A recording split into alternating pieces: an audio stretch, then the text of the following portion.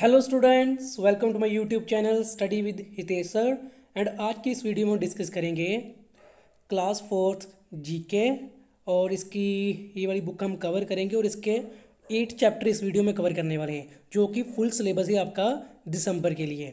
Okay for December exams ये full chapter होगा। Okay so let's get start this video so chapter कौन से कौन से कवर होने वाले हैं इसमें? वो पहले देख लेते हैं। First chapter aquatic plants ports of India the world of invention analogies insects where in India strange creature and great scientist ये सारे चैप्टर डिटेल में कवर होंगे इस वीडियो में। ओके okay, और अगर आपको एग्ज़ाम में दिसंबर दिसंबर एग्ज़ाम में अच्छे मार्क्स लेने फुल मार्क्स लेके आने हैं और ये वीडियो भी फुल देखनी पड़ेगी ओके okay? और मैं आपको गारंटी देता हूँ कि आपके फुल मार्क्स ही आएँगे अगर आपने ये वीडियो अच्छे से देखी है। सो पूरी वीडियो देखना।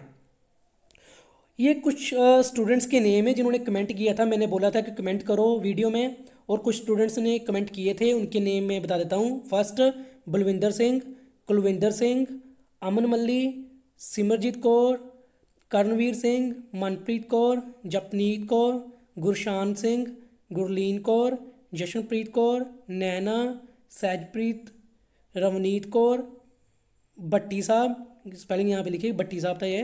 एंड अर्पन जोत खैरा। और कुछ के क्या है नेम रियल हैं, और कुछ के उनके पेरेंट्स या भाई बहन के आईडी के नेम है। मैंने उन्हें, उनको बोला था कि अपना रियल नेम कमेंट में बताना। और जिनके नहीं रियल नेम वो नेक्स्ट अभी जो कमेंट करोगे, उसमें बता देना, ठीक है? सो वीडियो में कमेंट करके अपना अपना नाम ज़रूर बताना, ताकि मैं नेक्स्ट वीडियो में उनका नाम भी ऐड करूँ, ठीक है? सो कमेंट में अपना नेम और जो भी मैं क्वेश्चन पूछूँगा, उसके आंसर्स क्लियर ओके सो अब स्टार्ट करते हैं ये video so let's get start this video okay so first chapter aquatic plants. Chapter start करने से पहले हमें पता होना चाहिए एक्वाटिक प्लांट्स है क्या। देखो, एक्वाटिक मीन्स जो पानी के अंदर होंगे और प्लांट्स मीन्स पानी के अंदर होने वाले plants. Aquatic means related to water okay so कौन से कौन से प्लांट्स हैं जो पानी में होते हैं? फॉर एग्जांपल यहाँ पे वाटर लिलीज हो गए लोटस हो गया वाटर चेस्टनट और भी काफ़ी सारे प्लांट्स हैं जो पानी के अंदर होते हैं ओके इनको ज़्यादा पानी चाहिए। अगर ज़मीन पे लगाएँगे, अर्थ पे तो नहीं होंगे। पानी में ही होने हैं। क्लियर और यही आज हम करेंगे चैप्टर ओके सबसे पहले जान लेते थोड़ा बहुत एक्वेटिक प्लांट्स के बारे में। क्या होते हैं? Aquatic plants are also termed as hydrophytes hydrophytes भी इनको बोला जाता है। हाइड्रो मीन्स वाटर ठीक है यहाँ पे हाइड्रो ने मीनिंग इनका मीनिंग होता है वाटर एंड फाइट्स का मीनिंग होता है साइंटिफिक टर्म में प्लांट्स सो so, कौन से प्लांट्स हो गए?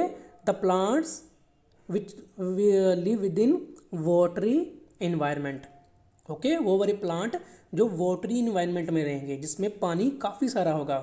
पानी ही पानी जैसे फॉर एग्जांपल लेक्स ठीक है लेक्स में हो गए पौंड हो गए रिवर जहाँ पे पानी काफ़ी सारा कलेक्ट होगा। जैसे आपने देखा होगा कोई हसली है जहाँ बटाला की, ठीक है? तो वहाँ पे भी काफ़ी सारे प्लांट्स होते हैं ओके वो सारे एक्वाटिक प्लांट्स हैं। Second in the ecosystem aquatic plants serve as food and habitat for animals living in the sea. देखो इकोसिस्टम क्या होता है, जिसमें काफ़ी सारे रोल प्ले करते हैं अलग अलग organisms like animals birds plants trees etcetera okay सारे ह्यूमंस भी. सो so, इकोसिस्टम का ही हम भी एक पार्ट हैं. तो इकोसिस्टम में एक्वाटिक प्लांट्स क्या करते हैं? फ़ूड का काम करते हैं और हैबिटेट हैबिटेट मीन्स रहने का जगह जैसे हमारा घर है. ओके फ़ूड एंड हैबिटेट का काम करते हैं एनिमल्स के लिए जो सी के अंदर रहते हैं. फॉर एग्जांपल कुछ फिशेस होगी या कुछ और जो भी उसमें आगे क्रोकोडाइल्स आ गए जो भी एक्वाटिक एनिमल्स हैं okay aquatic then aquatic plants prevents shore lines ponds and lakes from eroding by providing soil stability अब एक्वाटिक प्लांट्स का और क्या एडवांटेज है कि ये क्या करते हैं कि जो किनारे हैं पौंड के लेक के, जहाँ सी के, ठीक है, उनको शोर लाइन बोलते हैं। उनको क्या कहते हैं स्टेबिलिटी प्रोवाइड करवाते हैं, ताकि उनका क्या हो जाए सोयल रोइड रोइड ना हो जाए soil erosion okay soil erosion क्या होता है कि जो मिट्टी अपने अपने साथ, पानी जो होता है, मिट्टी अपने साथ लेके चला जाता है। तो वो अगर घास होगा वहाँ पे, कुछ प्लांट्स होंगे तो वो क्या होगा सॉइल ओरिजन नहीं होएगा। Clear good okay so now first question the flower of this plant is the national flower of Bangladesh ये वाला फ्लावर जो है फूल नेशनल फ्लावर है बांग्लादेश का। सो so, बांग्लादेश का नेशनल फ्लावर कौन सा है? Water lily okay water lilies are the national flower of Bangladesh so ये उसकी पिक्चर है. How beautiful is it right okay so first का answer water lily second the flower of this plant is the national flower of India ये वाला plant का जो है national flower है इंडिया का, ये तो सबको बताना चाहिए। हमारा नेशनल फ्लावर कौन सा है? लोटस और हिंदी में इसको बोलते हैं कमल। ठीक है, कमल का फूल। ओके लोटस एंड ये देखो पिक्चर इसकी। बहुत ही ब्यूटीफुल है। ठीक है? Okay third question the water plant this water plant is considered the worst water weed in the world worst क्या होती है? सबसे बुरी। ठीक है बैड होता है ना? बैड से भी बुरा क्या होता है? वोस्ट सबसे गंदा, सबसे बुरा प्लांट या वीड वर्ल्ड में ये वाली है, इसका नाम बताना है। तो इसका नाम है water hyacinth okay water hyacinth क्यों इसको सबसे बुरा कहते हैं? एक और हाँ क्यों बता के इसको बुरा कहते हैं? क्योंकि ये फास्टेस्ट ग्रोइंग वीड है। फास्टेस्ट सबसे जल्दी ग्रो कर जाती है। मीन्स अगर एक दो आपने प्लांट लगाया ना तो इसने एक दो दिन बाद काफ़ी सारे अपने प्लांट ग्रो कर लेने एक मान लो एक रिवर में एक प्लांट है ओके एक प्लांट है। तो इसने इतनी जल्दी अपने आप को ये करना है ग्रो करना है कि सारी की सारी रिवर रिकवर कर लेनी है। अब ये अच्छा हुआ कि बुरा हुआ? बहुत ही बुरा हुआ। क्योंकि अगर इसने पूरी पूरी, जैसे देखो, इतना सारा पानी दिख रहा है, बाकी में पानी नहीं दिख रहा। अगर इतना सारा कवर कर लिया तो इसके अंदर जो एनिमल्स हैं लाइक फिशेस उनको ऑक्सीजन चाहिए सनलाइट चाहिए, वो कहाँ से मिलेगी? वो मिलेगी नहीं। तो इसलिए क्या करेंगे? जो सारे एनिमल्स होंगे इसके अंदर वो मर जाएँगे। क्लियर इसलिए इसको बोलते हैं worst water weed in the world और एक और बता, बात बता देता हूँ, इसको बोलते हैं terror of Bengal terror terror means खतरा, किसका? Of Bengal Bengal means west Bengal की बात हो रही है। क्यों कहते हैं? क्योंकि वहाँ पे ये बहुत सारा होता है। और सारी की सारी जो डेल्टा है ना, हमें पता है ना कि डेल्टा कहाँ पे है? सुंदरबंस में है। तो वहाँ पे बहुत ज़्यादा ग्रो करता है और वहाँ पे सारा कवर कर लेता है एरिया बड़ी जल्दी। ओके सो इसका आंसर है water hyacinth worst water weed in the world next this plant has edible nut like fruit with four sharp barbed spines इसका फ्रूट कैसे होता है? नट लाइक नट मीन्स जैसे हम खाते हैं आलमंड्स हो गए चाहे दूसरे हो गए, अखरोट वगैरह हो गए, ठीक है, वो सारे। सो नट्स में आ जाते हैं वो सारे ड्राई फ्रूट्स वगैरह। तो ये भी उसकी, उसी में आता है तो इसका नाम है water chestnut okay water chestnut ये भी रिवर में होता है, देख लो पौंड वगैरह में, जिसको तालाब बोलते हैं, उसमें ठीक होता है। नेक्स्ट इस इसकी एक्सप्लेनेशन ठीक है? वो तो देख लिया हमने कि कैसे होता है। अभी मुझे बताओ कि आपने कभी ये वाली चीज़ देखी है? कभी मार्केट में कभी खाई हो, ऐसे होता है ब्लैक कलर का और इसको बॉयल करके हम खाते हैं मोस्टली ओके इसको ड्राई फ्रूट भी बना सकते हैं, इसको ड्राई करके बट हम मोस्टली जैसे मैंने खाया, जब मोस्टली हम पंजाब में खाते हैं तो वो इसको बॉयल करके खाते हैं। ठीक है? अगर आपने खुद नहीं खाया तो ये पिक्चर अपने पेरेंट्स को दिखाओ, उनसे पूछना इसका नाम क्या है। और वो इनका नाम क्या बताएँगे? सिंगाड़ा, ऐसा। ठीक है, सिंगाड़ा। सिंगाड़ा बोलते हैं, अगर नाम भी बताओगे तो उनको पता चल जाएगा। क्लियर सो ये भी किससे आता है? ये वाटर चेस्टनट ही है। उसके प्लांट के नीचे होता है वाटर चेस्टनट पानी के अंदर। उसको तालाब में होता है, गंदी जगह पे होता है, लेकिन बाद में उसको साफ़ करके धो के फिर सेल करते हैं। Clear this floating plants light green leaves are eaten meal in salad अब ये वाले प्लांट की जो जो जो पत्ते हैं, जो लीव्स हैं, वो एज ए सैलड हम खाते हैं। ठीक है मोस्टली पंजाब में नहीं खाते हैं, लेकिन जो थोड़े कोस्टल एरिया होते हैं वहाँ पे खाते हैं। सो उसका नाम है water lettuce okay water lettuce as a salad जैसे हम मूली, गाजर खाते हैं रेडिश वगैरह एंड अनियन वैसे ही है। This water plant is use in ancient Egypt to make scrolls for writing अब ये वाला जो वीड है ना, इसको किसके लिए यूज़ करते थे? ताकि राइट कर सकें। जैसे कुछ लिखना है, जैसे अपना, आपने नाम लिखना है, किसी का नाम अगर हरमन होगा, हरमन लिखना है, ठीक है? तो वो लिख सकते थे। पेन तो होते नहीं थे तब पेन पेंसिल तो फिर किसकी जो इंक होती थी उनके पास, जहाँ ब्लैक काजल टाइप होता था, उससे ही करके लिख लेते थे। और ये वाली इसकी स्पाइंस यूज़ करते थे, ठीक है? इसकी लीव्स बड़ी पतली पतली लीव्स हैं। बड़ा अच्छा लिखा जाता था। ओके? और इसका नाम है papyrus papyrus clear what is the name of this plant is papyrus थोड़ा टफ है, लेकिन प्रैक्टिस करने से आ जाएगा। Papyrus okay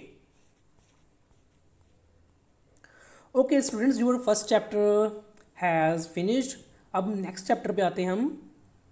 ports of India India की पोर्ट्स की बात करेंगे। अब मुझे मे भी आपके कुछ स्टूडेंट्स को नहीं पता होगा कि पोर्ट्स क्या होती हैं ओके तो मैं सबसे पहले वो बताऊँगा पोर्ट्स क्या होती हैं। दिखने में ऐसी हैं, ठीक है? लेकिन आपको पता होना चाहिए डिटेल में कि व्हाट आर पोर्ट्स ओके और इसकी इंपॉर्टेंस क्या है। तो इसके लिए मैं आपको बताता हूँ। Ports of India ports are the destination of ships ठीक है शिप का पता है आपको? जो समुद्री जहाज़ होता है ठीक है? शिप्स उनको, उनको बोलते हैं। तो उनकी डेस्टिनेशन है। डेस्टिनेशन मीन्स मंजिल जो जहाँ पे वो रुकते हैं। अब इनका काम क्या है? दिस फैसिलिटेट सी ट्रांसपोर्टेशन तो सबसे पहले क्या कहते हैं? सी ट्रांसपोर्टेशन सी मीन्स समुद्र। ट्रांसपोर्टेशन मीन्स जैसे हम ट्रक वगैरह यहाँ पे रोड भी लेके जाते हैं ना वैसे सी में अगर ट्रैवल करना है तो वो पोर्ट्स पे आके रुकते हैं। जैसे यहाँ पे बस स्टैंड हो गया रेलवे स्टेशन हो गए वैसे वहाँ पे क्या होगा? सी सॉरी पोर्ट तो पोर्ट पे आके शिप रुकेंगे। वहाँ पे जो कंटेनर होते हैं बड़े बड़े कंटेनर उसमें आपका खाने पीने की चीज़ें बाइक्स कार्स वो बाहर से इंडिया लेके आनी है। इंडिया से कनाडा अमेरिका यूएसए ऑस्ट्रेलिया वहाँ पे भेजनी है। तो सारा काम कैसे होगा? Through the help of by the help of ships अब शिप्स क्यों क्यों यूज़ करते हैं देखो एरोप्लेन में जो होता है ना एयरप्लेन उसमें इतना ज़्यादा लगेज नहीं आ सकता है। इसमें जो शिप्स होते हैं बहुत बड़े होते हैं अराउंड थ्री हंड्रेड फीट इससे भी ज़्यादा होते हैं, लेकिन मैं आपको एवरेज बताता हूँ two hundred two three hundred feet लंबे होते हैं और ऊंचाई में अराउंड होते हैं फाइव टू टेन फ्लोर्स ठीक है? अगर कोई घर देखा आपने फाइव टू टेन फ्लोर्स इतने ऊँचे होते हैं। सो बहुत ज़्यादा हाइट होती है, बहुत ज़्यादा लंबे होते हैं। सो काफ़ी सारा जो है गुड्स एक साथ अपने लेके जा सकते हैं गुड्स सो गुड्स मैंने बोला है गुड्स मीन्स ये नहीं जो स्कूल में आपको गुड्स मिलता है। Goods means material okay so import of goods across the world होता है. एक्सपोर्ट एंड इम्पोर्ट आपने सुना होगा ना एक्सपोर्ट इम्पोर्ट का बिज़नेस है. तो इसी से ही होगा. ओके गुड अब मैं एक एग्जांपल बताता हूँ मान लो सोनाली का ट्रैक्टर आपने सुना है? सोनाली का ट्रैक्टर अब सोनाली का ट्रैक्टर बाहर भेजने हैं. ठीक है, मान लो अमेरिका, अफ्रीका, कहीं भी भेजने हैं. तो वो कैसे भेजेंगे? बाय शिप्स ओके प्लेन से नहीं भेजेंगे उसको ट्रैक्टर को, शिप्स की हेल्प से भेजेंगे। काफ़ी हैवी होता है। जैसे ऑयल ट्रांसपोर्ट आता है बाहर से, वो भी शिप से ही आता है। अब ये है इंडिया का मैप और पोर्ट्स कहाँ पे होंगे? ओनली कोस्टल एरिया पे। देखो, यहाँ पे पाकिस्तान है, यहाँ पे ये वाला एरिया है नेपाल और यहाँ पे है चाइना। ओके? यहाँ पे चाइना है। तो अभी पोर्ट्स हैं वो कहाँ पे होंगे? पोर्ट्स होंगे सिर्फ़ कोस्टल एरिया पे, यहाँ पे। बस इस एरिया में।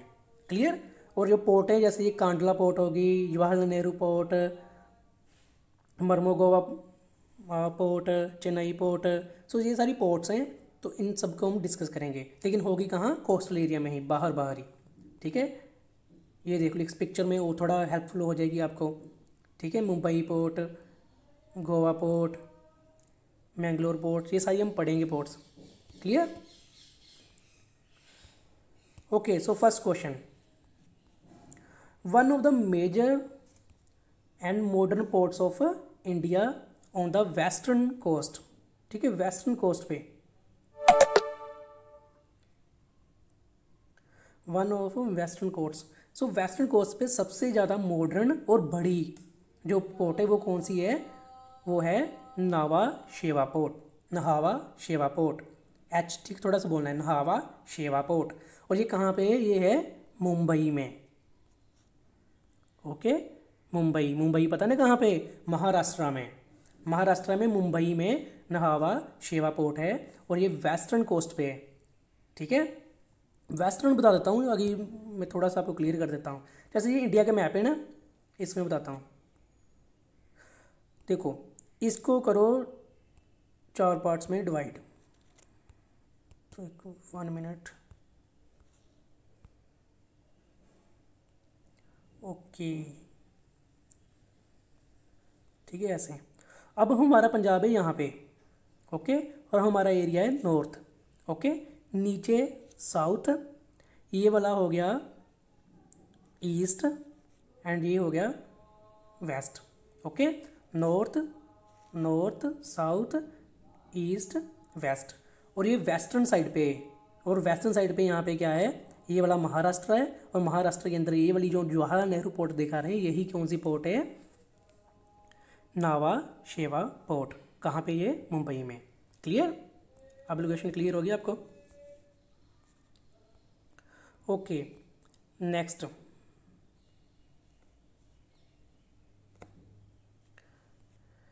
one of the major ठीक है, ये बड़े क्लियर कर दिया मैंने। नेक्स्ट क्वेश्चन अब नावा शेवा पोर्ट के बारे में थोड़ा जान लेते हैं। It is also known as the Jawaharlal Nehru जब पंडित जवाहरलाल नेहरू पोर्ट, पंडित जवाहरलाल नेहरू क्या हैं? चाचा नेहरू भी इनको बोलते हैं, ठीक है? And the largest container port in the India next one of the finest port in Asia Asia में, इसको एशिया बोलते हैं, ठीक है? One of the finest port in Asia formerly under the Portuguese possession ठीक है? ये पोर्ट कौन सी है? ये पुर्तगीज़ की पोजेसन में थी। ओके पुर्तगीज़ मीन्स जो पुर्तगोल से आए थे पुर्तगोल तो उनकी पोजेसन में क्यों? क्योंकि जो पहले गोवा था ना, गोवा पहले पुर्तगीज़ के पास था, हमारे पास नहीं था. एंड अराउंड में भी 1975 में हमारे पास आया ओके हमें तो इंडिपेंडेंस 1947 में मिल गई थी, लेकिन गोवा इंडिया में बाद में थोड़ा आया था। मे बी 1967 और 1975 I am not sure about that search कर लेना एक बार। तो वो बाद में आया, इसलिए ये जो पोर्ट है, बाद में इंडिया के पास आई। पहले किसके पास थी? पुर्तगीज़ पोर्चुगीज़ के पास ओके इस पोर्ट का नाम है, यहाँ पे नेम थोड़ा गलत हो गया, आपकी बुक में भी गलत है। इसका नाम है मर्मा गाँव पोर्ट ठीक है जी ए ओ ठीक है, मर्मा गाँव पोर्ट इसके करेक्ट स्पेलिंग है, ये वाले लिखे जो छोटे से लिखे यहाँ पे। मर्मा मर्मा गाँव पोर्ट ओके? मर्मा गाँव पोर्ट मीन्स यहाँ पे क्या करना है? ओ की जगह ए करना है ए की जगह ओ करना है। ठीक है, यहाँ पे बस। ये आएगा ए ओ बाकी सेम है। मर्मा मर्मा गाँव पोर्ट क्लियर और ये क्या है? पुर्तगीज़ के पोजेशन में थी, उनके अंडर थी पहले। A new port develop in the gulf of Kutch. Okay, new port develop हुई है in the gulf of Kutch. अब गल्फ ऑफ़ कच्छ कहाँ है? गल्फ ऑफ़ कच्छ है गुजरात में। ओके, गुजरात में है गल्फ ऑफ़ कच्छ और कच्छ एक डिस्ट्रिक्ट है वहाँ का। जैसे गुरदासपुर जहाँ पे डिस्ट्रिक्ट है, वहाँ पे वैसे ही कच्छ एक डिस्ट्रिक्ट है। और वहाँ पे कौन सी न्यू पोर्ट बनी है? Kandla port. Okay, Kandla port. ये न्यू पोर्ट क्यों बनी? क्योंकि पहले जो पोर्ट थी ना, जो पाकिस्तान के वहाँ उस साइड चली गई, जो पहली पोर्ट थी, वो पाकिस्तान के पास चली गई। फिर हमें न्यू बनानी पड़ी एक आफ्टर पार्टीशन ओके सो ये क्या है? इसका नाम क्या है? कांडला पोर्ट। कहाँ पे ये? गल्फ ऑफ़ कच्छ में the third largest port in India the third largest port in India with an artificial harbour अब इसका आर्टिफिशियल हार्बर है। आर्टिफिशियल का मीनिंग आपको पता है? नकली। हार्बर मीन्स ये जो वाली प्लेस है। यहाँ पे शिप्स आके रुकते हैं। ओके यहाँ पे मीन्स यहाँ पे डोक होता है। यहाँ पे सारे कंटेनर रखे जाएँगे। वो हार्बर है। तो वो आर्टिफिशियल है। आर्टिफिशियल क्यों?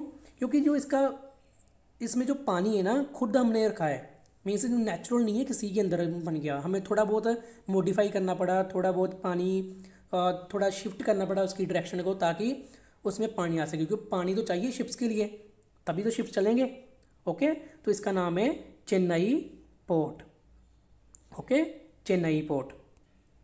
इसका आर्टिफिशियल हार्बर है। किसका? चेन्नई पोर्ट का। The largest port of India India की सबसे बड़ी port the largest port of India और ये देखो कंटेनर्स कैसे रखे हुए हैं। और ये सारे कंटेनर्स कहाँ जाएँगे? शिप्स के ऊपर। और शिप्स के ऊपर के आने के बाद ये जाएँगे इंडिया के बाहर। और जो आएँगे इंडिया के बाहर से शिप आएँगे, वो कंटेनर यहाँ पे अनलोड होंगे और यहाँ पे रख के फिर यहाँ पे ट्रेन से एंड ट्रक से आगे आगे ट्रैवल करेंगे। यहाँ पे भी जो, इसको भी जो मटेरियल चाहिए। Clear and now question the largest port of India and it is Calcutta port या कोलकाता पोर्ट अभी ये कोलकाता पोर्ट है, ठीक है? स्पेलिंग कोलकाता गई है। ओके। सिक्स क्वेश्चन, एंड ये लास्ट क्वेश्चन है मे बी या the tenth major port in India India की दसवीं सबसे बड़ी पोर्ट उसका नाम क्या है? Tuticorin port okay Tuticorin port और ये कहाँ पे ये है तमिलनाडु में। तमिलनाडु। क्लियर और जो लास्ट वाली जो कैलकाटा कोलकाता पोर्ट थी, ये कहाँ पे थी? ये वेस्ट बंगाल में। ठीक है वेस्ट बंगाल क्लियर नाउ वो चैप्टर खत्म हो गया अब next chapter the world of invention okay बड़ा इंपॉर्टेंट चैप्टर है और सबसे इंटरेस्टिंग चैप्टर साइंस से। ओके क्योंकि इन्वेंशन से हम घिरे हुए हैं। इन्वेंशन बहुत ज़्यादा हुई है। जैसे फॉर एग्जांपल इंटरनेट सबसे बड़ी इन्वेंशन कौन सी? इंटरनेट। इंटरनेट नहीं होता तो आज मैं वीडियो रिकॉर्ड करके आप नहीं देख पाते। इंटरनेट नहीं होता तो आप फेसबुक इंस्टाग्राम यूट्यूब कुछ भी नहीं चला पाते। कोई चैटिंग नहीं, कोई सर्च नहीं गूगल पे nothing okay so internet is a biggest invention सी सबसे कह सकते ज़्यादा, लेकिन मोबाइल में इसमें आएँगे कंप्यूटर आएँगे, सारे टेक्नोलॉजी जो डेवलप हुई है। ठीक है टीवी कंप्यूटर मोबाइल्स पेंस सारी इन्वेंशन अच्छी हैं अपनी अपनी अकॉर्डिंग से। लेकिन इन सबको कनेक्ट किसने कर दिया? हमें पूरे वर्ल्ड के साथ किसने कनेक्ट किया? इंटरनेट ने। ओके या okay the world of invention so invention of various useful things has made our life easy comfortable and enjoy enjoyable देखो, काफ़ी सारी अच्छी अच्छी चीज़ों ने हमारी लाइफ क्या कर दी है? ईजी कर दी है कंफर्टेबल कर दी है एंड इन्जॉयबल कर दी है। Clear invention example TV computer mobile pencil etcetera thermometer telescope जो भी आप देख रहे हो एलईडी बल्ब प्रिंटर हो गया हेडफोन्स कुछ भी लगा लो, ठीक है, सारी इन्वेंशन है। और एक इसमें वर्ड आता है डिस्कवरी डिस्कवरी और इन्वेंशन में क्या डिफरेंस है? डिस्कवरी जब हम चीज़ की करते हैं ना, वो पहले ही होती है अर्थ पे। फॉर एग्ज़ाम्पल आयरन ठीक है आयरन आयरन पहले मे भी ज़मीन पे होगा, अंदर होगा, हमें मिला नहीं होगा, लेकिन बाद में मिल गया। ऐसे गोल्ड पहले नहीं था, बाद में मिला।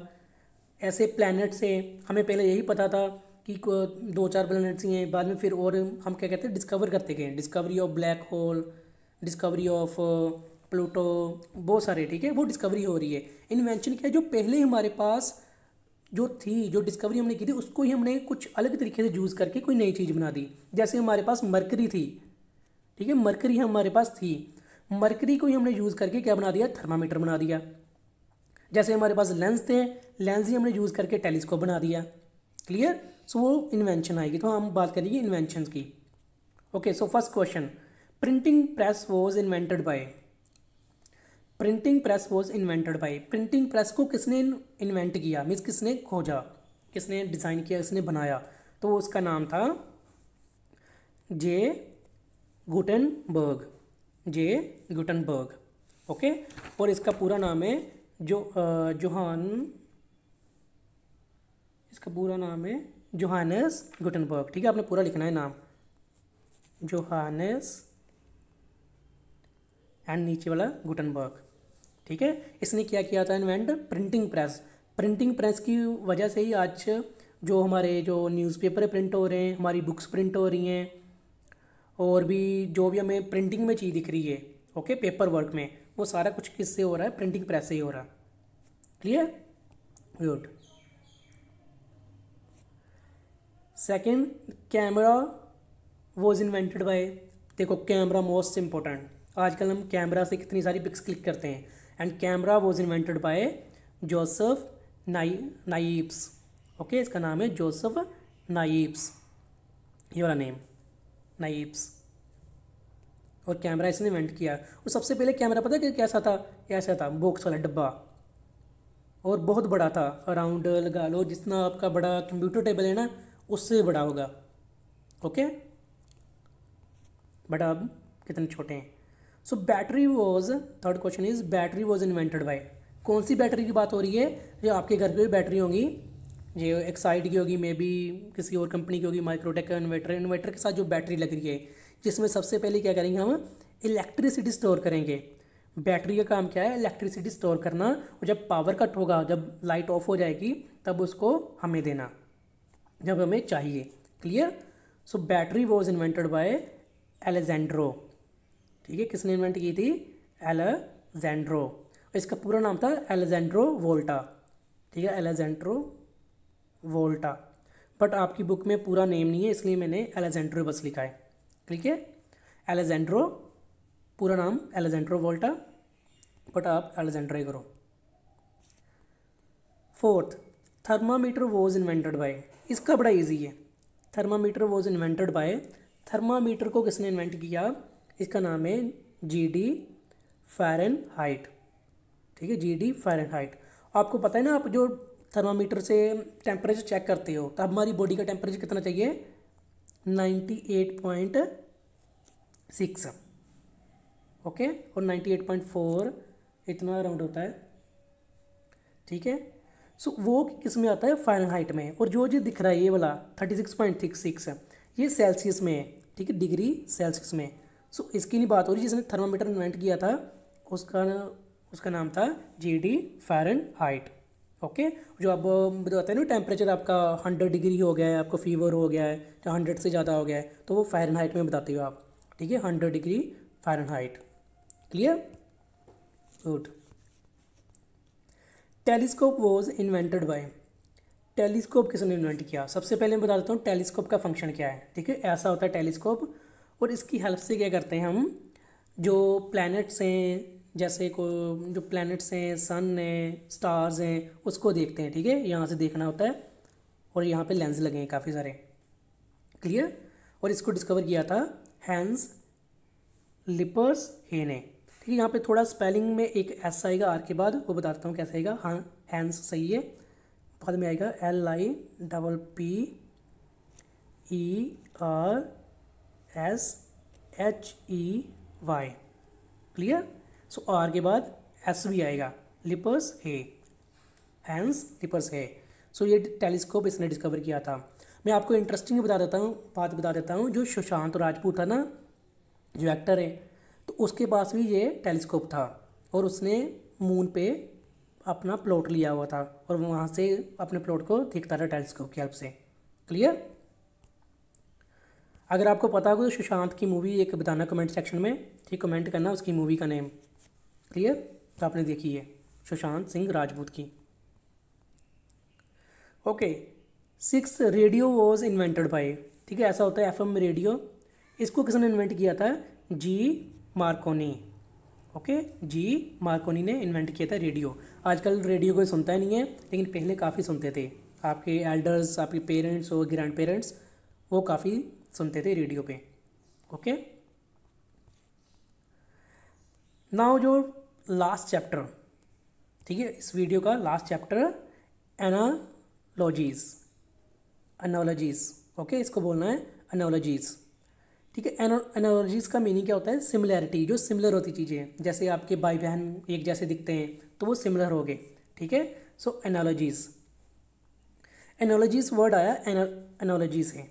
A N L O G Y analogy okay क्या होगा इसमें? द कंपैरिजन कंपेयर करेंगे। सिमिलरिटी चीज़ों सिमिलर चीज़ों को कंपेयर करेंगे। The comparison of one thing with another which has similar feature is known as analogy okay इसको एनालॉजी नहीं बोलना है analogy analogy okay an analogies okay जैसे हम आगे पढ़ेंगे। देखो first Tamil is to Tamil Nadu as Telugu is to dash देखो, जो तमिल है ना, वो तमिलनाडु की क्या है?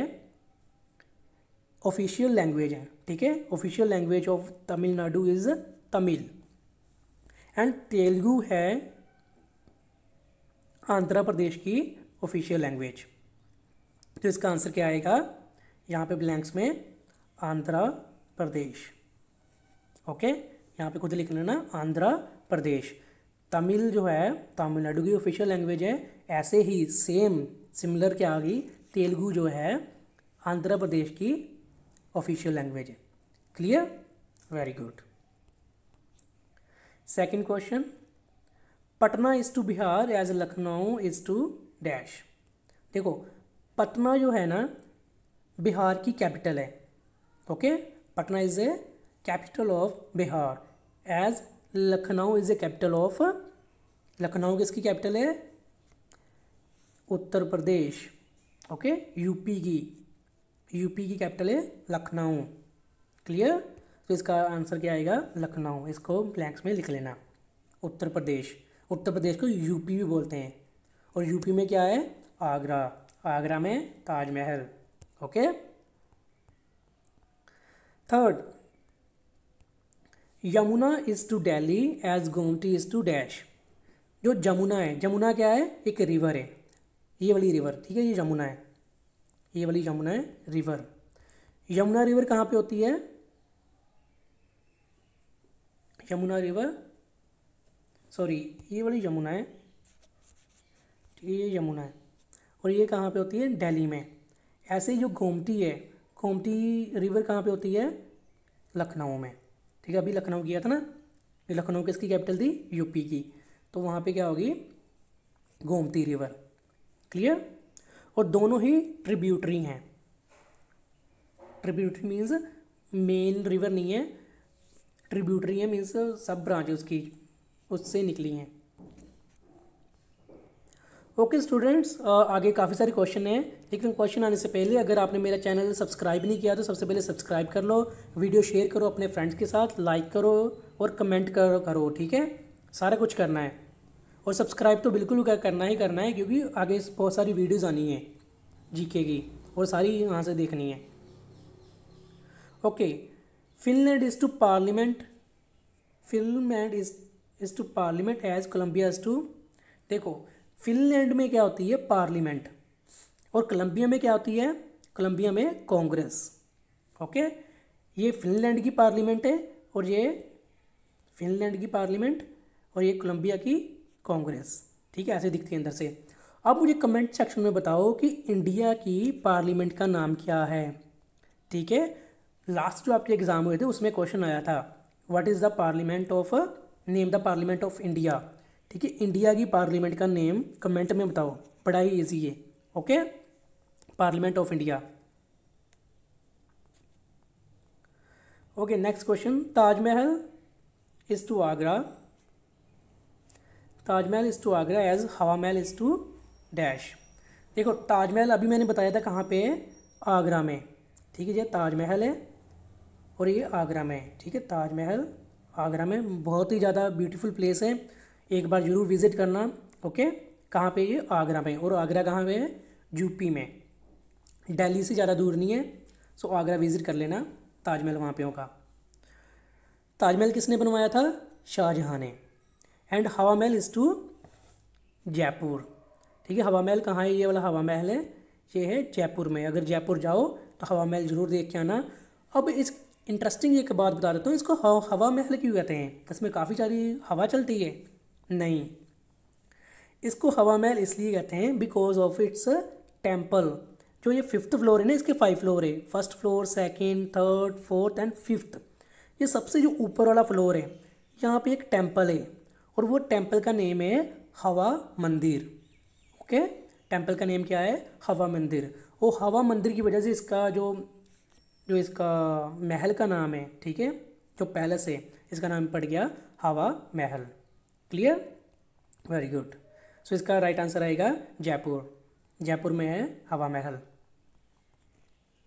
Ved Vyas is to Mahabharat as Valmiki is to dash देखो, वेद व्यास क्या है महर्षि वेद व्यास थे जिन्होंने महाभारत लिखी थी। ओके लिखी थी एक्चुअली श्री गणेशा ने। ओके बट बोली किसने थी? वेद व्यासा ने। क्लियर सो so, वही बोला गया है Ved Vyas is related to Mahabharat means Mahabharat Ved Vyas Maharshi ने लिखी थी। ऐसे ही वाल्मीकि ने क्या लिखा था? जो महर्षि वाल्मीकि हैं उन लिखी थी रामायणा ये महर्षि वाल्मीकि हैं। ठीक है आपने रामायणा देखी थी ना अभी जो आई थी टीवी पे? वो किसने लिखी थी? महर्षि वाल्मीकि ने जिसके नाम पे हम वाल्मीकि जयंती भी मनाते हैं। ठीक है रामायणा तो इसका आंसर आएगा Ramayana Ramayan. Okay white elephant is to Thailand as land of maple is dash white elephants ठीक है? एलिफेंट्स के यहाँ पे स्पेलिंग थोड़े रॉन्ग हो गए हैं. Elephant E L E P H A N T elephants ठीक है? सो वाइट एलिफेंट किसके रिलेटेड है? थाईलैंड के. ऐसे ही land of apple is related to ये मुझे बताओ किसका फ्लैग है? कौन सी कंट्री का? कैनेडा का. ओके जाना है ना कैनेडा ओके अभी कमेंट सेक्शन में मुझे बताना कि किस किस के जो जो ब्रदर हैं या सिस्टर है वो कनाडा में है ओके जो कनाडा में है, वो बताना, जिसके ब्रदर और सिस्टर में कनाडा में कमेंट में बताना ओके देखते हैं किसके सबसे ज़्यादा ब्रदर और सिबलिंग्स और पेरेंट्स कनाडा में जो जिनके ऑस्ट्रेलिया में वो ऑस्ट्रेलिया लिख देना okay so land of maple is known as Canada Canada को लैंड ऑफ़ मैपल कहते हैं। ओके मैपल क्या है? इनका लीफ है, ये पत्ता है। ये वाला पत्ता। ओके जो सेंटर में दिख रहा है। इस मैपल लीफ होता है। तो इसमें काफ़ी सारे होते हैं यहाँ पे ट्रीज और पत्ते होते हैं। So land of maple is Canada eighth question quit India movement ठीक है? क्विट इंडिया मूवमेंट थी। क्विट इंडिया ठीक है? मूवमेंट चलाई थी। किसने चलाई थी? महात्मा गांधी ने। Quit India is to Mahatma Gandhi as आराम हराम इज़ टू डैश। देखो, जो क्विट इंडिया ने बोला था, भारत छोड़ो, किसने बोला था? महात्मा गांधी ने। और इसके लिए मूवमेंट भी चलाई। ऐसे ही आराम हराम है बोला था पंडित जवाहरलाल नेहरू ने। ओके? यहाँ पे लिखा भी इनका स्लोगन है ये। ठीक है, ये इनका क्विट इंडिया स्लोगन है। महात्मा गांधी का ऐसे ही आराम हराम स्लोगन है पंडित जवाहरलाल नेहरू का। ठीक है, इनको चाचा नेहरू बोलते हैं। Okay? Ninth. The Ganga is to India as Huang Ho is to dash. देखो, द गंगा क्या है? एक रिवर है। ठीक है? गंगा रिवर स्टार्ट होती है ओरिजिनेट होती है from Gangotri in the Himalayas Tibet में ओके? और ये रिवर, गंगा रिवर, काफ़ी पूजा करते हैं हम इसकी, ठीक है? और हुआंगहू ये भी एक रिवर है, कहाँ पे? चाइना में। चाइना का एक रिवर है, ये इसकी पिक्चर है। अब देखो, इसका कलर कैसा है? येलो है ना? इसलिए इसको बोलते हैं yellow river okay yellow river भी बोलते हैं इसको, चाइना में ओके ऐसा कलर होता है वैसे रिवर का जो साफ़ पानी होता है, लेकिन इनका मडी वाटर है, ठीक है? वाटर कैसे? मडी है, जैसे होता है, मिट्टी में काफ़ी गुलाब होता है। तो वो क्योंकि यहाँ पे ना मिट्टी ही ऐसी है तो इसको बोलते हैं Huang Ho is related to China और चाइना के इसको येलो रिवर भी बोलते हैं clear Himalayas are to Asia as Andes are to देखो जो हिमालयज कहाँ पे? एशिया में। एशिया में पूरे एशिया में फैले हुए हैं हिमालयाज ओके हिमालय की जो टॉमोस्ट पॉइंट है, ठीक है ये हिमालयाज हैं। हिमालय का जो टॉमोस्ट पॉइंट है, सबसे ऊँची जो चोटी है, ठीक है, वो क्या है? माउंट एवरेस्ट माउंट एवरेस्ट ठीक है, इसकी काफ़ी ज़्यादा हाइट है, ठीक है? और ऐसे जो एंडीज़ है एंडीज़ कहाँ पे मिलते हैं? साउथ अमेरिका में। ओके सो ब्लैंक्स में क्या आएगा? South America Himalayas to Asia as Andes are to South America और इंसेक्ट्स के बारे में हम थोड़ा बहुत जान लेते हैं कि क्या होते हैं insects insects are tiny animals छोटे छोटे एनिमल्स हैं एंड हैव मैनी लेग्स बहुत सारे इनके पैर होते हैं। जैसे आप देख सकते हो, काफ़ी सारे इनके पैर है। सिक्स एट और more than eight most insects है विंग्स इनके क्या होते हैं? विंग्स होते हैं, पर होते हैं एंड एंटीने एंटीने मीन्स ये वाली चीज़, आगे वाली एंटीना ओके ये देखो, यहाँ पे भी एंटीना और यहाँ पे हनी बी के भी एंटीना है. देन उसके बाद they have hard outer shell called exoskeleton इनके ऊपर जो जो शेल होता है ना, ऊपर वाला हार्ड जो कवर होता है, वो क्या होता है? हार्ड होता है. और उसको क्या बोलते हैं? Exoskeleton okay then some insects are helpful while some of them are dangerous इसमें से कुछ तो हेल्पफुल होते हैं. फॉर एग्ज़ाम्पल हनी बी ठीक है? हनी बी से हम हमें क्या मिलता है? हनी मिलता है. सो so, ये हमारे लिए क्या है? हेल्पफुल है.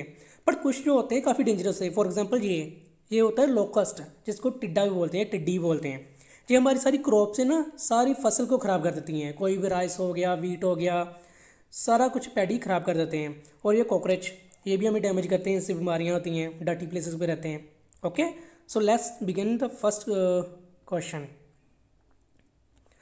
first question is it is a large brown insect with wings it is found in dark and dirty places ठीक है, एक बड़ा ब्राउन कलर का विंग्स है, इसके साथ इंसेक्ट है, जो डार्क एंड डर्टी प्लेसेस में होता है।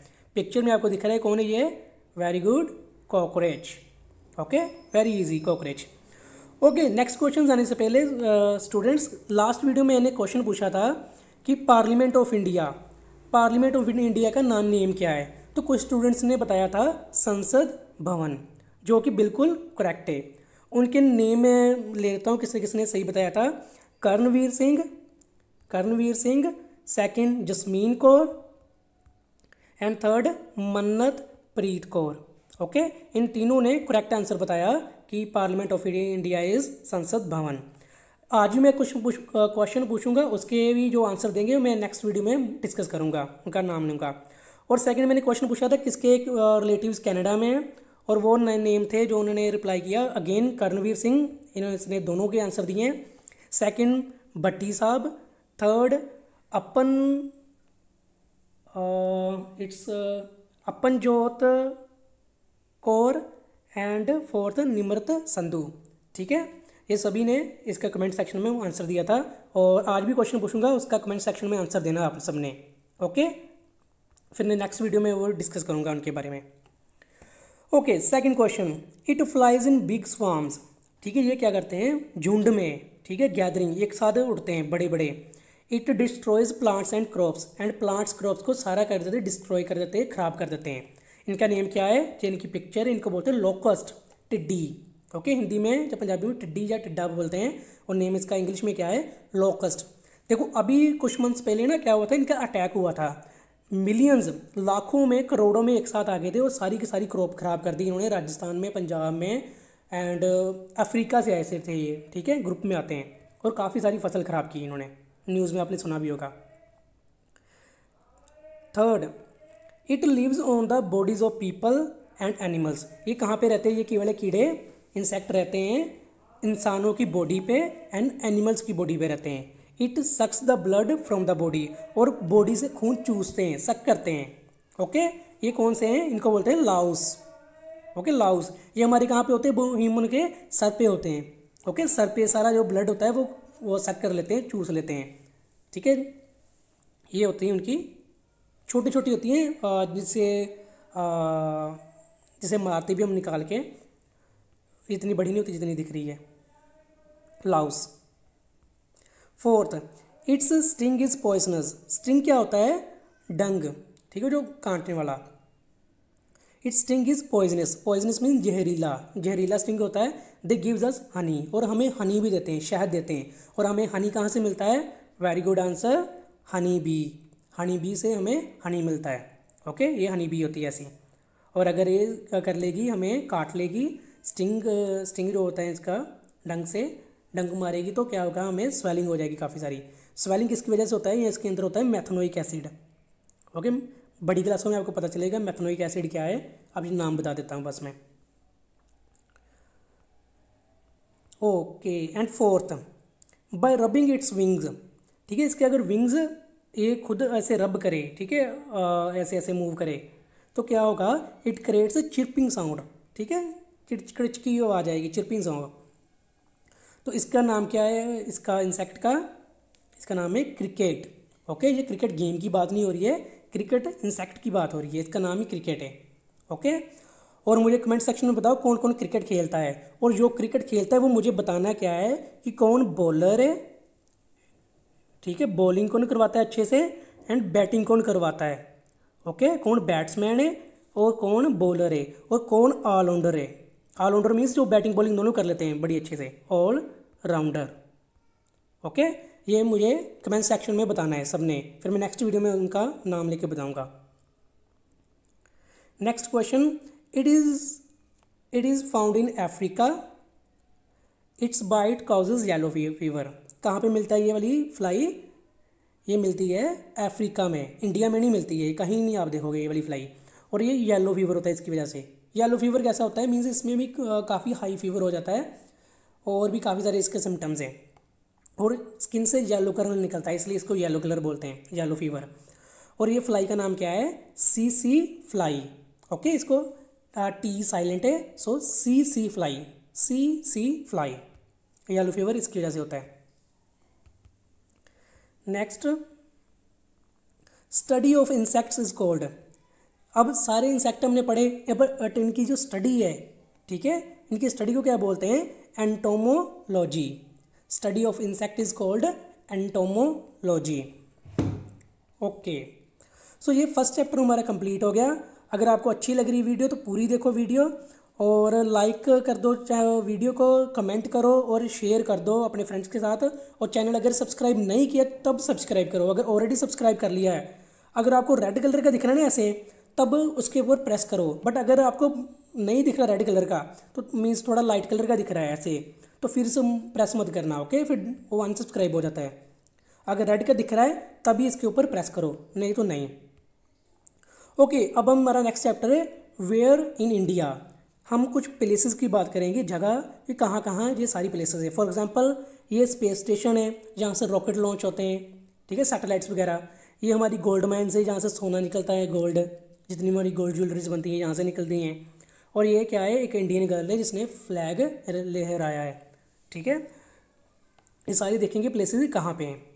Okay so first a place from where India से सैटेलाइट आर लॉन्च्ड वो वाली प्लेस का नाम बताओ जहाँ से इंडिया के सैटेलाइट लॉन्च होते हैं। ठीक है, ये सैटेलाइट ठीक है रॉकेट लेके जाता है ऊपर सैटेलाइट ऐसा होता है रॉकेट काफ़ी बड़ा होता है। आपने देखा भी होगा कई बार धुआँ इसका। सो ये प्लेस कहाँ है? Sriharikota, Arunachal Pradesh. Sorry Andhra Pradesh. Okay Sriharikota में प्लेस है इसकी AP AP means Andhra Pradesh. Next a statue of brave girl ठीक है, एक बहादुर लड़की का स्टैचू है। नाम इसका क्या था? Kanaklata. Okay, statue of a brave girl, Kanaklata who was shot dead by British while trying to host the national flag in 1942 देखो 1942 में क्या हुआ था? ये लड़की है, इसका नाम है कनकलता। इसने क्या किया था? इंडिया का फ्लैग सॉरी फ्लैग लहराया था। ओके, और मूवमेंट तब चल रही थी क्विट इंडिया मूवमेंट भारत छोड़ो आंदोलन। Quit India movement means Bharat छोड़ो आंदोलन। सो ब्रिटिश को बोला था कि हमारा भारत छोड़ के चले जाओ। तो तब इसने क्या फे फिला फिला जो फ्लैग था ऐसे होल्ड किया था और इसको क्या कर दिया उन्होंने मार दिया। ठीक है डेड शॉट कर दिया गोली मार दी। तो इसका नाम आ, नाम था कनकलता एंड ये कहाँ पे स्टैचू है? ये स्टैचू है असम में और असम में कौन सी प्लेस पे? गोहपुर। गोहपुर असम में इसका स्टैचू है। क्लियर वेरी गुड नेक्स्ट है Gandhi ji lived at this ashram situated on the banks of river so Gandhi ji यहाँ पे रहे, एक आश्रम में, उसका आश्रम का नाम बताना है, जो कि रिवर के किनारे हैं। तो इसका आश्रम का नाम है, ये वाला गांधी जी की पिक्चर है स्टैचू है उनका। और ये आश्रम का नाम है सबरमती आश्रम ओके सबरमती आश्रम अब सेकंड क्वेश्चन इसका आंसर देना है आपने कि गांधी जयंती कब होती है? गांधी जयंती कब होती है? ठीक है अभी अभी निकली है ज़्यादा टाइम नहीं हुआ। मुझे बताना कब होती है, कौन सी डेट बतानी है ओके जैसे फाइव टेन ट्वेंटी टू ठीक है? वो सारी डेट बतानी है मुझे, कब होती है गांधी जयंती कमेंट सेक्शन में। Where gold mines are found in India India में गोल्ड माइन कहाँ से, कहाँ पे होती हैं? देखो गोल्ड कलर गोल्डन कलर ठीक है? ऐसे सोना निकालते हैं। इसके बाद रिफाइनरी होती है इसकी। तो ये प्लेस का नाम है कोलर कर्नाटका। कर्नाटका में गोल्ड माइन्स है और जगह का नाम है Kolar. Fifth question the four Hindu holy centres Hindus के चार होली सेंटर्स सेट बाय आदि शंकरा ठीक आदि शंकरा एक राजा था और उसने क्या किया था? चार होली सेंटर सेट किए थे। मीन्स प्लेसेस थी जहाँ पे विज़िट करना होता था। का अपनी मर्ज़ी है, लेकिन जो कर लेता था उसको काफ़ी मानते थे कि वो प्योर है उसने काफ़ी धार्मिक इंसान है ओके? वो कौन सी कौन सी थी? फ़र्स्ट एक तो थी बद्रीनाथ ये बद्रीनाथ टेंपल है ये माना जाता है किसका टेंपल है? लॉर्ड विष्णु का विष्णु भगवान का। फिर जगन्नाथ टेंपल जगन्नाथ उड़ीसा में बद्रीनाथ उत्तराखंड में है एंड द्वारका गुजरात में है। ठीक है ये कृष्णा का है ये भी कृष्णा का ही है जगन्नाथ बट अल, अलग फॉर्म में। और चौथी प्लेस थी श्रृंगिरी श्रृंगिरी द्वारका पुरी एंड बद्रीनाथ। ओके ये सारी चार प्लेसेस हैं। पुरी उड़ीसा में, जो जगन्नाथ टेंपल है, पुरी में। ओके ये वाला यहाँ। सिक्स क्वेश्चन जैविस स्टोन ऑफ़ इंडिया इंडिया का जैविस स्टोन कौन सा है? जैविस स्टोन इसको क्यों बोला गया है स्टूडेंट्स जैविश जैसे हम हिंदूज हैं ना, हिंदू, सिख, मुस्लिम क्रिश्चियंस वैसे जैविश पीपल भी होते हैं। ये कहाँ मेनली होते हैं? इसराइल में। ठीक है? यहाँ पे लिखा भी है इसराइल ठीक है? इसराइल के होते हैं मेनली तो जैविश स्टोन इंडिया का है कोची केरला ओके केरला में कोची एक जगह है, जहाँ का ये जैविश टाउन माना जाता है जहाँ पे जैविश पीपल काफ़ी सारे होते थे जैविश पीपल बट अब सारे कहाँ पे अब कम रह गए हैं? Few are left here because सारे माइग्रेट कर गए हैं इसराइल में। जैसे पंजाबीज़ हैं माइग्रेट कर रहे हैं। कनाडा में मीन्स काफ़ी ज़्यादा जा रहे हैं। इन फ्यूचर आने वाले फोर्टी फिफ्टी साल में काफ़ी ज़्यादा पंजाबीज़ और जाएँगे बाहर। तो कनाडा में शिफ्ट हो रहे हैं, वैसे इसराइल में सारे शिफ्ट हो गए जाविश क्योंकि यहाँ पे पीपल बहुत कम थे। ओके कोची केरला प्लेस का नाम है वो। The exact geographical centre of India India का बिल्कुल सेंटर कौन सा है? जैसे यहाँ से, यहाँ एक लाइन ड्रॉ करो, यहाँ से एक लाइन यहाँ ड्रॉ करो। तो देखो, ये वाली जगह का नाम सेंटर पॉइंट कौन सा है? इसको बोलते हैं प्लेस का नाम है जबलपुर और कहाँ पे ये मध्य प्रदेश में MP MP Madhya Pradesh, okay? और प्लेस का नाम क्या है? जबलपुर। जो डार्क वाली दिख रही है ना ये वाली। सॉरी आपको दिखाता हूँ करके। ये जबलपुर है। ठीक है, ये डार्क वाला। ये बिल्कुल, ओके? ये सेंटर पॉइंट है, बिल्कुल सेंटर है इंडिया का। ओके नेक्स्ट क्वेश्चन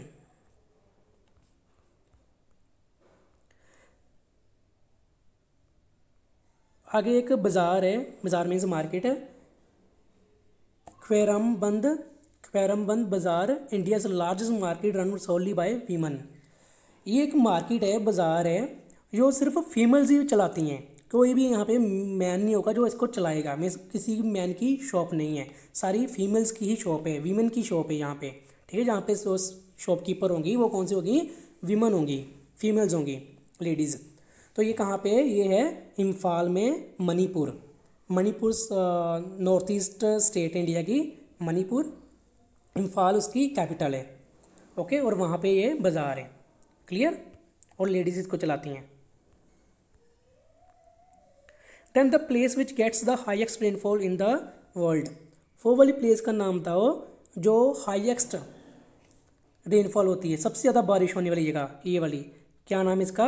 मैसन Ram okay Mawsynram village है। कहाँ पे ये? मेघालय में। मैसन राम ओके, पहले चिरापूंजी होती थी इसकी जगह, ठीक है? बट अभी मैसन राम न्यू प्लेस है। जहाँ पे सबसे ज़्यादा बारिश होती है। सारा साल बारिश होती रहती है। India's underground nuclear testing site India's underground nuclear testing site means कौन सी जगह है जहाँ पे न्यूक्लियर टेस्ट हुआ था या अभी भी होते हैं? ओके तो ये 1998 में 1998 है doctor A P J Abdul Kalam की आ, उन्होंने ध्यान रखा था और हमारा न्यूक्लियर टेस्ट हुआ था पोखरान में। पोखरान कहाँ है? राजस्थान में। इसके ऊपर एक मूवी भी आई है। ओके? पोखरान। कहाँ ये? राजस्थान में। आपने पोखरान लिखना है। Rajasthan. Okay. Eleventh question. The the ruins of Indus valley civilisation city like Harappa and Mohenjo-daro. देखो, हमारी ना 2500 साल पहले 2500 ईयर्स एगो हमारी सिविलाइजेशन थी एक, जिसका नाम था इंडस वैली सिविलाइजेशन ये वाली इंडस वैली सिविलाइजेशन उसकी कुछ ना सिटीज़ थी लाइक हड़प्पा सिविलाइजेशन इसको बोलते हैं. मोहजन दारू एक मूवी का नाम भी आ गया है मोहजन दारू सिविलाइजेशन थी. वहाँ पे एक प्लेस थी हड़प्पा भी प्लेस थी. और ये भी उसके ऐसे ही है, सिटी है, ठीक है, जो मिट्टी के नीचे दबकी थी। बट अभी जब इसकी एक्सप्लोरेशन हुई, थोड़ा छानबीन की तो ये सारी सिटीज़ नीचे से मिली। और इस प्लेस का नाम बताना है, वो है काली बंगन ये भी कहाँ है? राजस्थान में। काली बंगन ओके काली बंगन ये वहाँ सिटी है। कितनी पुरानी है? ट्वेंटी फाइव हंड्रेड्स ओल्ड पच्चीस सौ साल पुरानी है ओके हो गया आपका सेकंड चैप्टर भी खत्म हो गया, अब थर्ड चैप्टर स्टार्ट करेंगे strange creatures okay strange creatures ये सारे ना क्रेचर्स असल में नहीं है means all the strange creatures are not real okay ये फेक डे मीन्स मिथ है। माना जाता है कि ऐसे होते हैं बट ऐसे होते नहीं हैं, ठीक है? सिर्फ़ लोगों ने सिर्फ़ सुने देखे नहीं हैं ओके या इनके ऊपर मूवीज़ बनी हैं बट एक्चुअल में रियलिटी में नहीं है। जैसे कि ये वाले हो गया, ये बाबा जी ये वाला हो गया वेम्पायर टाइप ये भी थोड़ा बालू टाइप है। तो ये सारे हम पढ़ेंगे कि कैसे हैं। ओके सो अगेन बता देता हूँ, अगर सब्सक्राइब नहीं किया तो सब्सक्राइब कर लो, अपने फ्रेंड्स के साथ शेयर वीडियो ज़रूर करो एंड लाइक भी करना है। लाइक करना मत भूलना वीडियो को।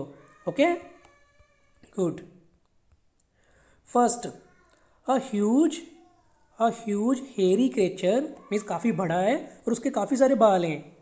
Who is said to live in the Himalayas जो कहाँ पे रहता है? हिमालयाज में, हिमालय पर्वत पे रहता है। And leaves large footprint in the snow और उसके पैर यहाँ पे स्नो में दिखते हैं। Okay okay? और इसका नाम क्या है? यति यति ओके ये इसका नाम है यति और ये ऐसा दिखता है। मीन्स इमेजिनेशन है, किसी ने देखा नहीं है। लेकिन पैर दिखे हैं पैरों के निशान।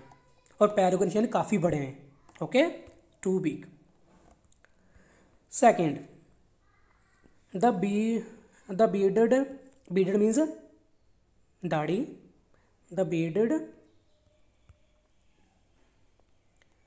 the bearded man with a hood hood ये वाली और इसको भी बोलते हैं hoodie cap type who guards hidden treasures ये क्या सेव करके रखता है? आ, बचाता है जिसको खजाने को होते हैं ना ट्रेजर्स होते हैं खजाना। तो खजानों को बचा के रखता है जो छुपे हुए हैं। इसका नाम क्या है? नूम। ठीक है, इसको गुनूम नहीं बोलना है। जी साइलेंट है। जी लिखने में साइलेंट आएगा, लेकिन वैसे जी साइलेंट है और इसको बोलना है नूम। नूम मीन्स होता है बोना, छोटी हाइट वाला। ओके डवाफ डवाफ ही बोलते हैं, छोटी हाइट वाला। Gnome. Third a man who changes into a wolf like creature after dark to kill humans एक क्रेचर का नाम बताना है जो क्या करता है, रात के बाद जब वो होता है ना, बारह बजने के बाद तो क्या होता है डार्क अंधेरा होने के बाद वॉल्फ बन जाता है, भेड़िया बन जाता है, ऐसा पहले इंसान होता है हमारे जैसा, बाद में भेड़िया बन जाता है वॉल्फ बन जाता है ओके और बाद में ह्यूमंस को ही खाता है, इनको वेम्पायर्स भी बोलते हैं। ये है वेयर वॉल्फ ठीक है बोलना है इसको? वेयर वॉल्फ ठीक है वर वॉल्फ नहीं है वेयर वॉल्फ अनमरस क्रेचर ठीक है? Usually an enemy of human but sometimes kind to देखो, ये भी क्या है? एक क्रेचर है। काफ़ी इंसानों को खाता है, मारता है बट कई कई बार उनको प्रोटेक्ट भी करता है। नाम इसका क्या है? जाइंट ओके जाइंट और दिखने में ऐसा है। और ये देखो लेडी उसके ऊपर बैठी हुई है। ठीक है? रियल नहीं है उसका स्टैचू है। बट फ्रेंडली भी इसको माना जाता है। कई कई बार मार भी देता है इंसानों को ह्यूमंस को। अ वाटर सरपेंट, ठीक है, वाटर सरपेंट। सरपेंट मीन्स सांप स्नेक विद नाइन हेड्स कितने हेड्स इसके? नाइन ये देख लो नाइन हेड्स हैं। इफ़ यू कट देम अगर इसके सर को काट दोगे तो एक और हो जाएगा। जितने मर्ज़ी इसके सर काट लो, उतने न्यू आ जाएँगे। अगेन इमेजिनेशन है रियलिटी में नहीं है। ये मतलब ढूंढना कि अपनी रोड पे जाओ और देखो कि कहाँ ये वाला स्नेक हमने तो देखा नहीं सर ओके तो इसका नाम है हाइड्रा इमेजिनेशन है मूवीज़ में देखोगे, लेकिन नॉट इन रियल इसका serpent means snake nine head है इसके और इसका नाम है Hydra clear very good a sea nymph nymph means परी. परी कह लो, एक देवी कह लो लाइक दिस ओके इसको बोलते हैं अप्सरा. हाँ apsara word is correct for nymph apsara. अप्सरा सुना है ना? अप्सरा, वो वहाँ की अप्सरा है। अप्सरा मीन्स ब्यूटीफुल लेकिन दिखने में ब्यूटीफुल तो नहीं है। लेकिन फिर भी निम्फ बोला है इसको अप्सरा। हु सिंग्स वो क्या कहता है? गाना गाती है। ब्यूटीफुली बहुत अच्छे। And lures passing ships to destruction और जो साथ में शिप्स आएँगे, ठीक है, समुद्र में होती है सी में ओशन में। और ये देखो सिंगिंग कर रही है। आवाज़ इसका साउंड इको प्रोड्यूस कर रही है। जो भी शिप आएगा, समुद्री जहाज़ आएगा, उसको क्या करती है? डिस्ट्रक्ट कर देती है। सारा तबाह कर देती है। ओके इसका नाम क्या है? Siren. Okay siren. Clear seventh a huge eagle like bird ठीक है? ईगल ईगल की तरह एक बर्ड है which can carry off an elephant for food जो हाथी को भी खा जाती है. ओके किसको? एलिफेंट को. एलिफेंट को भी खाया जाती है. इतनी बड़ी बर्ड है ईगल है. ये देखिए इसकी पिक्चर और इसने एलिफेंट को उठाया हुआ है खाने के लिए. ठीक है, इसको ट्रांसपोर्ट नहीं कर रही है, खाने के लिए उठाया हुआ है। इसका नाम क्या है? रुख। आर यू कैच रुख। Okay too dangerous eighth a creature with the body of snake ठीक है बॉडी उसकी कैसी है? स्नेक की तरह। एक ड्रैगन स्टेल पूछ उसकी है ड्रैगन की तरह। एंड थर्ड उसके विंग्स भी हैं। ठीक है, ये विंग्स भी बने हुए हैं। और क्या कहती है? देखती इतनी जहरीली तरह कि वैसे इंसान मर जाए। इतना डेंजरस देखना है। ओके इसका नाम क्या है? Basilisk okay what is its name basilisk. Okay so students हमारा थर्ड चैप्टर भी कंप्लीट हो गया। नाउ लास्ट चैप्टर जस्ट और इसके साइंटिस्ट में, इसमें, वो भी हम करेंगे, पढ़ेंगे इसमें साइंटिस्ट के बारे में। सो ग्रेट साइंटिस्ट साइंटिस्ट कौन होते हैं स्टूडेंट्स साइंटिस्ट होते हैं a person engaging in a systematic activity ठीक है एक्टिविटी इनकी आती है सिस्टमेटिक होती है। मीन्स इन्होंने एक पूरी थ्योरी पढ़ी होती है, उसके ऊपर एक्सपेरिमेंट करते हैं। So knowledge that describe and predicts the natural world जो हमारा नेचुरल वर्ल्ड है, दुनिया कैसी है, वो हमें दिखाते हैं। इन्वेंशन साइंटिस्ट करते हैं डिस्कवरी साइंटिस्ट करते हैं। The person may be expert वो एक्सपर्ट भी हो सकता है किसी एक फ़ील्ड में या more than one field of science okay, science में एक्सपर्ट होते हैं एक फ़ील्ड में, जैसे केमिस्ट्री में, और जहाँ केमिस्ट्री और फिजिक्स दोनों में एक्सपर्ट हो सकते हैं, और बायोलॉजी भी ओके? ये पिक्चर है मैरी क्यूरी की, मैडम मैरी क्यूरी, और ये है डॉक्टर हरगोबिंद खुराना दोनों के बारे में जानेंगे, कौन है और क्या इन्होंने, क्यों इनको नोबल प्राइज़ मिला, वो अभी जानेंगे first A name the scientist who won Nobel Prize in Chemistry for Chemical Dynamics and Osmotic Pressure. ठीक है, एक साइंटिस्ट का नाम बताना है इसका, जिसको नोबल प्राइज मिला हुआ है केमिस्ट्री में okay for chemical dynamics and osmotic pressure इसने ओस्मोटिक प्रेशर फाइंड आउट किया किया था एंड केमिकल डायनामिक्स ये सारे अगर समझाना चाहूँ तो मैं आपको समझा दूँ, लेकिन अभी आपके लेवल का नहीं है। ये सारा आपको पता चलेगा अराउंड नाइन्थ और टेंथ क्लास में, कि ऑस्मोटिक प्रेशर क्या होता है केमिकल डायनामिक्स क्या होता है, मे भी उससे ज़्यादा टाइम लग जाए। लेकिन नोबल प्राइज़ बता देता हूँ किसको मिलता है। स्टूडेंट्स नोबल प्राइज़ मिलता है जिसने कुछ अच्छा किया हो काम। ये नोबल प्राइज़ नेम आया एल्फ्रेड नोबल से। Alfred Nobel. ठीक है, एक साइंटिस्ट का नाम था जिसने डायनामाइट्स बनाया, बारूद बनाया, जो ब्लास्ट करने वाला। और उसको सारी ज़िंदगी लोग कहते रहे कि बड़ा गंदा इंसान है, बिल्कुल भी अच्छा नहीं है, इसने बोम बनाया है। Okay, Baum. डायनामिट्स बनाए थे, अंडर वाटर माइंस बनाई पानी में भी बॉम्ब चल जाएगा, वैसे बना दिए, पहाड़ तोड़ने के लिए बना दिए बॉम्ब पर लोगों को लगा ये तो सारी दुनिया तबाह कर देगा। तो इसलिए लोगों ने इसको पत्थर मारे, बढ़िया गालियाँ दी। बट जब ये मर गया तो जितने भी इसने पैसे कमाए, सारी लाइफ स्पैन में इतने, इसने करोड़ों रुपये कमा लिए, ठीक है? अर्न किए। और इसने सारे पैसे एक चैरिटी ट्रस्ट ओपन की और बोला कि जो भी इंसान साइंस में अच्छा करेगा केमिस्ट्री में अच्छा करेगा फिजिक्स में अच्छा करेगा बायो में अच्छा करेगा तो उसको क्या करेगा? प्राइज़ मिलेगा। कितना प्राइज़ मिलेगा? टेन लैख टेन लैख में भी यूरो मिलेंगे। ओके टेन लैख यूरो करोड़ों around ten to twenty crore रुपये मिलेंगे पर पर्सन सो so, काफ़ी अच्छा इंसान था लेकिन जब तक ज़िंदा था लोग उसको बुरा कहते गए। सो नोबल प्राइज़ बता दिया हिस्ट्री उसकी मैंने। सो so, केमिस्ट्री में मिला था ऑस्मोटिक प्रेशर फाइंड आउट करने इसका नाम था Jacobus H van't Hoff Jacob H. Van't Hoff ठीक है, ये इसकी पिक्चर है। थोड़ा टफ नेम है, एक दो बार रिपीट करना, याद हो जाएगा। Name the scientist who Nobel prize who won Nobel prize in chemistry again chemistry में इसको मिला। For discovery of elements like radium and polonium देखो, जो रेडियम एंड पोलोनियम है ना, दोनों क्या है? रेडियो एक्टिव एलिमेंट है। रेडियो एक्टिव एलिमेंट्स कौन से होते हैं? जिनसे जिनसे हमें क्या हो सकता है? कैंसर हो सकता है। ओके डिज़ीज़ हो सकता है स्किन कैंसर सो इसने दोनों radium and polonium find out किया। नेम इसका क्या था?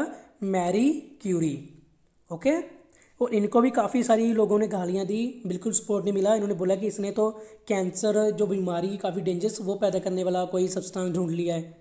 ओके बट इसके बाद इसी से ही लोगों का इलाज हुआ था कैंसर का।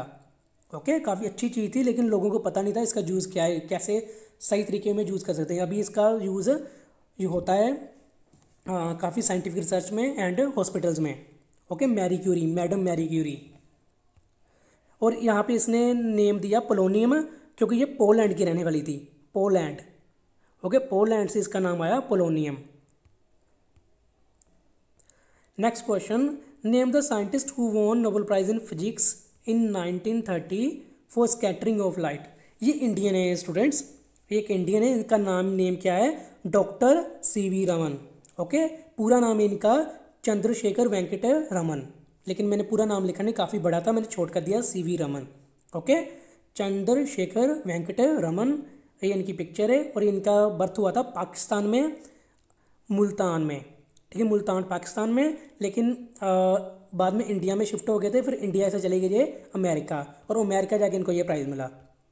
Okay Nobel prize then name the scientist to won Nobel prize in chemistry again chemistry में मिला इनको in 1926 for work in disperse systems ठीक है डिस्पर्स सिस्टम पे वर्क करने के लिए। ठीक है, इनका नाम क्या था? Theodor Svedberg Theodore Svedberg. Okay name the scientist again Indian एक आ गया। ओके इंडियन वाले इंपॉर्टेंट है। जो इंडियन है ना, ये इंपॉर्टेंट है। एक मैडम मैरी क्यूरी इंपॉर्टेंट है। ये याद रखना एग्ज़ाम में आने के चांसेस ज़्यादा हैं। Name the scientist to won Nobel prize in medicine दवाई मीन्स बायोलॉजी में इन्होंने किया in 1968 for interpretation in genetic code genetic code क्या होता है स्टूडेंट्स हमारे जीन्स होते हैं। जीन्स मीन्स जो हमारे पेरेंट्स से हमें करेक्टर्स आए। सो वो उनमें इंटरप्रिटेशन की थी, थोड़ा चेंजेस किए थे, बताया था कि कैसे कैसे होता है। नाम इनका क्या था? Har Gobind Das Khorana.